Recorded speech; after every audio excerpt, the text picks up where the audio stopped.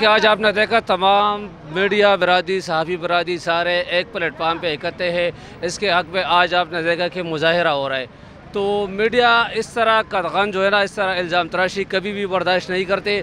اور حکومت کو بھی چاہیے کہ اس واقعہ کا نوٹس لیا جائے۔ اور جن جن نے اس طرح من گھٹ یا نازیبا استعمال الفاظ استعمال اس کے خلاف تحقیقات ہونی چاہیے۔ ہم نہیں مانتے۔ لیکن اب میرے خیال میں عمران خان کو ایک ٹویٹ اس حوالے سے کرنا چاہیے تھا کہ یہ جو انہوں نے ایک طوفانی بدتمیزی برپا کیا ہوا، اس کو ختم کر دے، تو میرے خیال میں عمران خان کا ایک ایک ہی ٹویٹ اس سے کام سے کام یہ ہو سکتا ہے کہ وہ اپنے کارکنوں کی ہدایت کرے، کہ وہ یہ جو گانا گلوچ کا سلسلہ ہے، وہ ختم کر دے۔